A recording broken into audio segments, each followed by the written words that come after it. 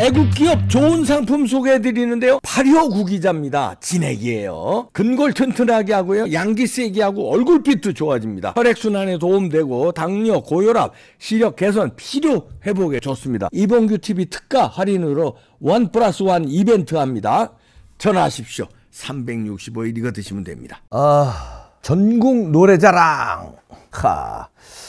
야 여기 김신영이 잘리고 남미석이 에, 등판하는데요. 어, 전국 노래자랑은 그 KBS의 간판 프로거든요. 시청률 아주 좋았는데 송혜 선생님이 돌아가시고 그다음에 이제 김신영이가 그때 발탁됐을 때, 아, 뜨악했어요. 야, 그 송혜 선생님은 그때 당시에 95세 이런데, 아주 젊은 그 개그맨이 되길래 어그야 처음에는 뜨아하고 이상하다 했는데 뭐 그렇게 신선한 발탁도 괜찮을 것 같다 이렇게 생각했죠 그냥 그런데 시청률이 이게 시청률이 깡패입니다. 시청률이 말해주거든요. 이게 안 나오니까 쭉 반토막 났다는 거 아니에요? 어 그러니까 결국은 1년 반 만에 예, 교체가 되는데 여기에 대해서 좌파들이 난리가 났어요. 왜냐하면 잘린 거는 문재인 시계를 시계 찬 거 그걸 자랑해서 잘린 거다. 이러고선 이제 말하자면 윤석열 정부의 탄압을 받은 거다. 이것들이야 뭐이서 개수작들이야. 아 근데 발탁은 문재인 정부 때니까 뭐 좌파에서 발탁될 수도 있습니다. 뭐 그것까지야 뭐 그렇다고 그래. 근데 김신혜는 제가 잘 알아요. 강적들 할 때 한동안 패널이었어요 같이. 예, 저 그래서 뭐 저한테 아빠 아빠하고 이제 그리고 우리 제 옆에 또 앉았어요. 앞에는 김갑수 앉았고 뭐 이준석 앉았고 제 바로 옆에 김신혜를 배치했거든요. 그래서 뭐 아빠 아빠 구투리 케미가 좋았는데 이 정치 얘기 그때 할 때는 전혀 좌파 우파 이런 거 티를 안 내요. 왜냐하면 연예인들은 그 정치색을 티를 내면 손해를 본다고 생각하기 때문에 실제로 손해를 보고 그게 전혀 좌파 우파 티를 안 내요. 그러니까 무슨 좌파에서 무슨 탄압을 받았다 이 말도 안 되는 얘기예요. 티를 내는 사람은 용감한 사람이야. 예를 들어서 김은국 같은 사람, 정준호 이런 사람들은 아주 서른도 어, 이런 굉장히 용감한 사람들이고 우파에서는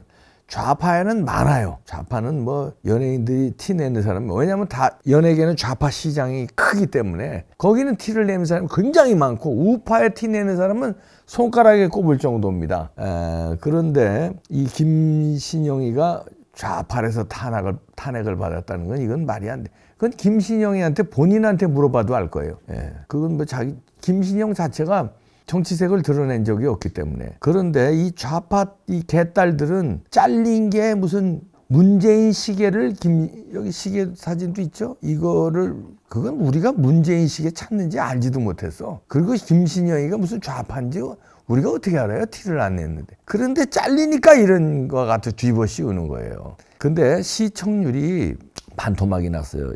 전국 노래자랑이 최고 시청률이 20% 갔던 겁니다. 송혜 선생 때. 그게 이제 최고 시청률이지만 얼추 따서 10%는 넘었어요.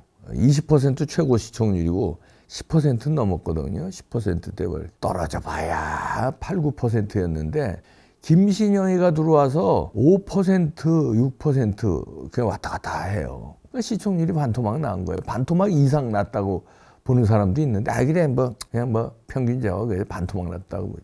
이 시청률은요 광고 영업하고 직결됩니다. 시청률이 좋으면은 좋은 광고들 비싼 광고들이 막 붙어요. 근데 시청률이 그만 그만 하면은 좋은 광고들이 안 받고 당, 광고 단가도 약해집니다. 그러니까 결정적인 회사의 에, 그 말하자면 이 경영의 큰그뭐이 잣대가 시청률이에요. 어, 그런데 반토막 났는데 이거 가만 내비도 1년 반이나 됐는데 그러니까 1년 반 만에 에, 결국 교체가 됐습니다. 제가 그래도 몇번 봤거든요. 에, 김신영이 또뭐 뭐 아끼는 마음도 있고 그래서 전 노래 프로 좋아하니까 봤는데 송혜 선생님 할 때하고 영그 맛이 안 나더라고. 예.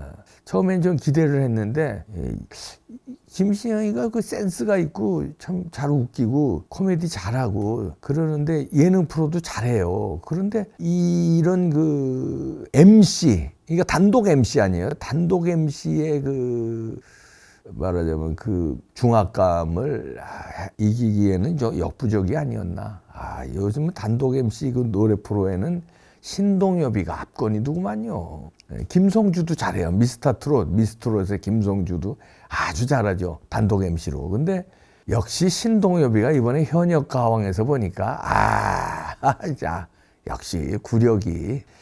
에, 그런데 김신영이는 거기에서 밀린 거지 무슨 무슨 문제의식에 찼다고선 이, 이, 이, 꼴값들을 떨고 그렇다면은 대놓고 좌파하는 놈들 다 잘렸게? 시계 한 번 찼다고 잘리면은 대놓고 좌파하는 놈들이 얼마나 많아 연예인에? 그것도 다 잘렸게 윤석열 정부 들어와서 웃기고 앉았네. 그리고 남희석이도 제가 잘 아는데요. 남희석이도 하고도 술도 야, 여러 번 같이 먹고 그랬는데. 이 저 여우예요 아이 정치 티 안 내.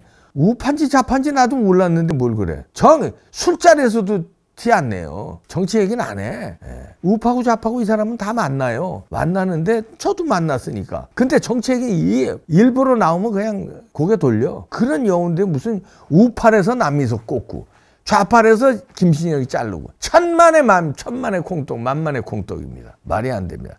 남미석이는 이제 남미석이 발탁은 아마 그런 것 같아요. 자, 송혜 선생이 완전히 연예계 원로, 그냥 구력의 상구력이죠. 하여튼 전국 노래자랑 인기로 장수 프로인데 여, 영한 사람을 한번 꽂아봤어요. 아주 신선하게.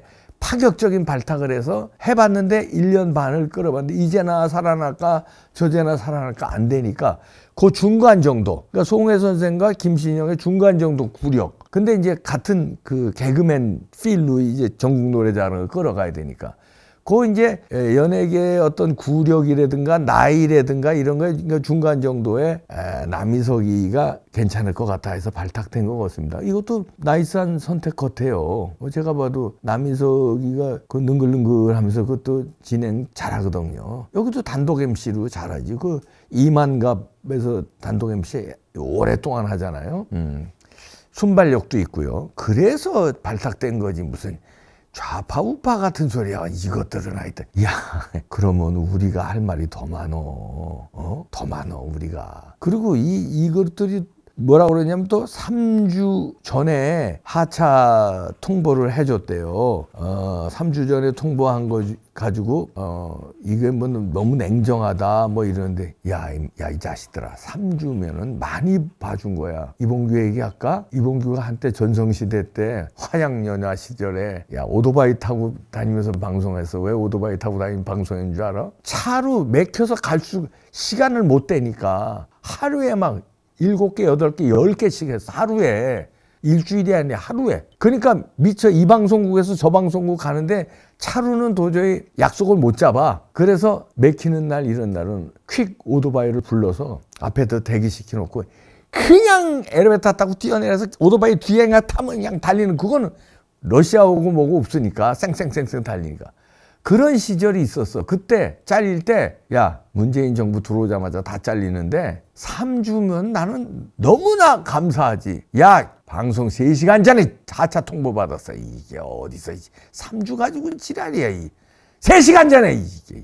강적은 녹화 날 알려주더라. 정치 옥타곤은 내일 아침 방송인데 오늘 저녁에 자르고, 이게. 다른 프로그램은 3시간 전에, 아, 오늘 안 나오셔도 됩니다. 그러고. 이것들이 어디서, 이게.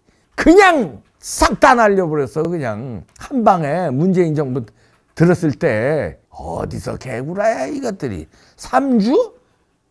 강적은 왜 녹화하는 날 알려줬냐면 녹화 방송이거든. 그러니까 내가 이제 뭐 이제 섭섭한 소리라도 방송에서 생방송은 나갈 수 있잖아요.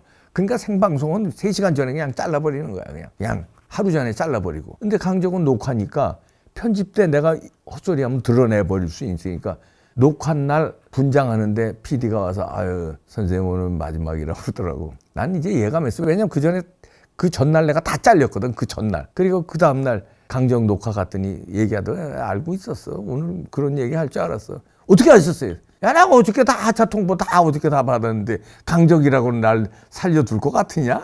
아유, 내가 그렇게 바보냐? 그래서 알았어, 알았어. 오늘 마지막 재밌게 할게. 그랬어요. 3주 같은 소리야. 3주 전에 교체 통보했다고 그걸 갖다가 냉정하다 정치판보다 냉정하다 뭐 어쩌고 이게 어디서 개소리들을 하고 있어요. 아, 오죽하면 그 어, 전효옥 뭐, 전 의원도 아, 그래서 꿀단지 엄마 그래서 이- 이거 김신영 이 하차된 거 좌파들 뭐라고 그러는 거또 맹렬히 비판하셨네요. 여기에서 이제 전효옥 씨도 얘기했지만 남이석 씨 굴하지 말고 제2의 송해가 돼달라 그런데 어, 잘할 겁니다. 제가 남이석도 잘 알고 김신영도 잘 아는데 남이석 잘할 거예요. 예. 그리고 적임자가 아닌가. 왜냐면 그 순발력이나 그 다음에 재치, 그 다음에 이, 이 담력이 있어요. 그런 큰 무대는 담력이 있어야 되거든요. 그런 면에서 삼박자 다 갖추지 않았나. 그 구령 면에서도. 김신영은 재치 있고 잘하는데 예능 프로가 더 맞지 않나. 이렇게 이 노래 오디션 프로의 그 큰 무대에서 혼자 단독으로 그것도 다 야외잖아요. 그 단독으로 하는 거는 조금 더 연륜이 좀 필요하지 않나 보고 그 예능의 그 맛깔스러운 순발력, 감각 그리고 또 인간성이 괜찮아요 김신영이 앞으로 뭐 좋은 프로 맡을 테니까 너무 그 의기소침하지 말고 그리고 이런 거뭐 좌팔에서 당났다 이런 거에 노란하지 마라 신영아. 어? 그저 이렇게 좌파들이 너를 이용하려고 그러면은 나, 나 그런 거 아니다. 어, 내가 지금 뭐 시청률이 안 나오고 그래서 어, 뭐 그렇다. 쿨하게 인정해. 어? 신영아. 그래야지. 그 네가 너도 잘할 거 아니야 시청률 떨어진 거. 네가 뭐 문재인 시계 찼다고 잘린 거야? 아 네가 잘할 거 아니야 그럼 네가 페이스북에라도 써. 그거 아니라고. 아니 문재인 시계 받은 사람이 한두 명이야. 이 말도 안 되는 소리. 그거 다 잘리게 그래. 말도 안 되는 소리하고 완전히. 하여튼 신영아, 음, 좋은 프로 맡을 거야 앞으로. 너에 어울리는 프로. 다 어울리는 게 있어. 나도 해- 지난 그 전에 해보니까 나에 안 어울리는 게 있더라고. 동치미 같은데 내가 몇 번 나가서 했는데 나한테 안 어울리더라고. 근데 뭐 강적들 같은 거라든가 정치옥다고는 내가 하면서도 어 나한테 어울린다? 이렇게 느꼈고. 그런 게 있어 안 맞는 옷이 있단 말이야. 그건 나한테 안 맞는 옷을 입었었다? 이렇게 생각을 해.